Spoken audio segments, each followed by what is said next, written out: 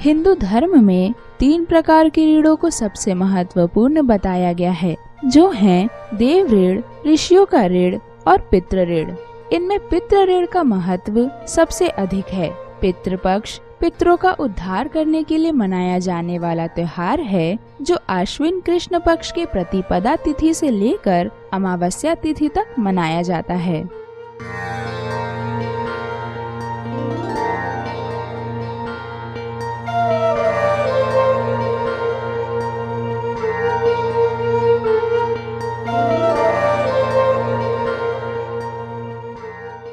नमस्कार दोस्तों, मेरा नाम है ज्योत्सना और आप देख रहे हैं हमारा धार्मिक चैनल भक्ति सरोवर। 16 दिनों तक चलने वाला पितृपक्ष पूर्वजों की आत्माओं की शांति का त्योहार है। इस समय पितृ ऋण से मुक्ति पाने के लिए श्राद्ध किए जाते हैं। जानिए क्यों किए जाते हैं पितृपक्ष श्राद्ध।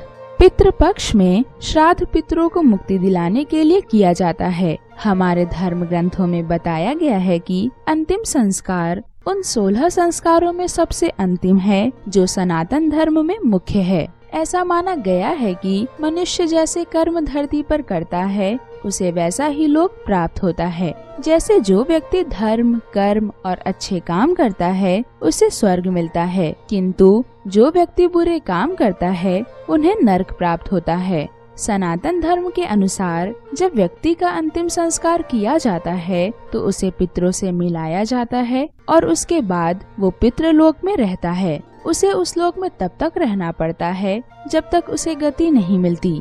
यह भी माना जाता है कि पितृपक्ष के दौरान सभी पितृ अपने पुत्रों के पास आते हैं ताकि उन्हें तर्पण मिले और जो उन्हें संतुष्ट कर देता है, उसे पितृ आशीर्वाद देते हैं। जबकि जिनसे उन्हें कुछ नहीं मिलता, वो क्रोधित और दुखी होकर उन्हें श्राप भी देते हैं।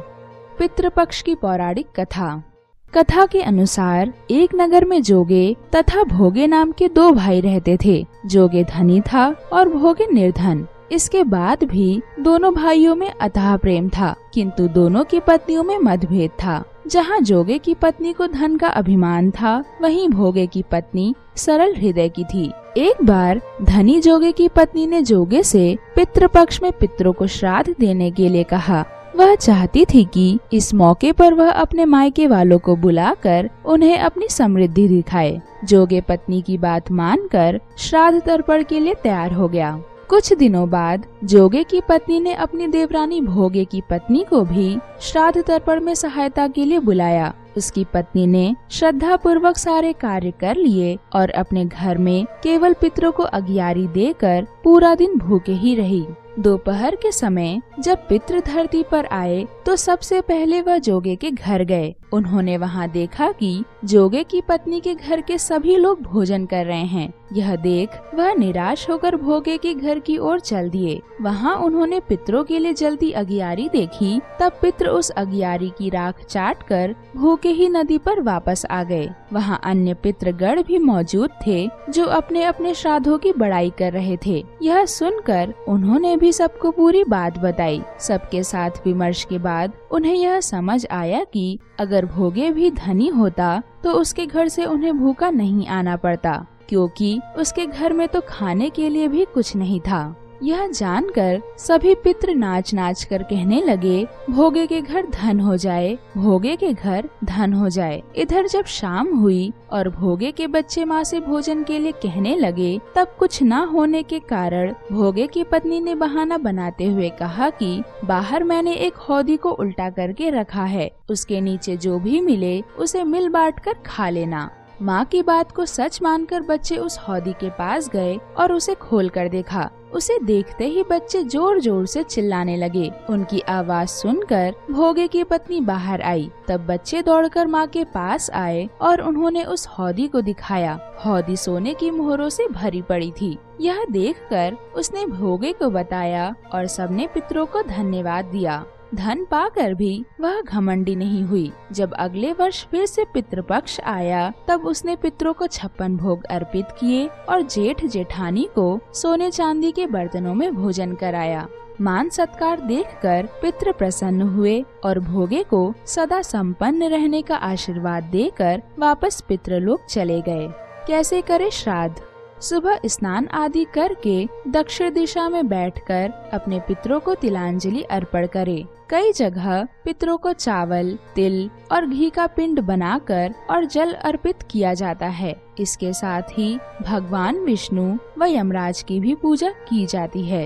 अपने पितरों को याद करके उनसे अपने कल्याण और आशीर्वाद की भी कामना की जाती है। इस दिन कई तरह के पकवान बनाकर पितरों के अलावा ब्राह्मणों को भी खिलाया जाता है, जैसे खीर, पूड़ी आदि। और साथ ही ब्राह्मणों को दक्षिणा भी दी जाती है। एक थाली में पकवानों को कोए को खास तौर पर खिलाया जाता है, क्योंकि यह माना जाता है कि उस दिन पितृ कोए के रूप में आते हैं। इसके साथ ही कुत्ते, गौ माता आदि को भी यह खिलाया जाता है। किस दिन किया जाता है श्राद्ध?